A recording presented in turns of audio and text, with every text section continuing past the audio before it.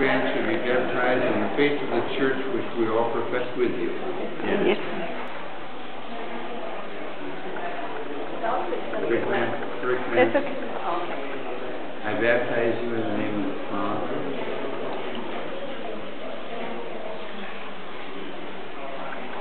And of the Son. And of the Holy Spirit.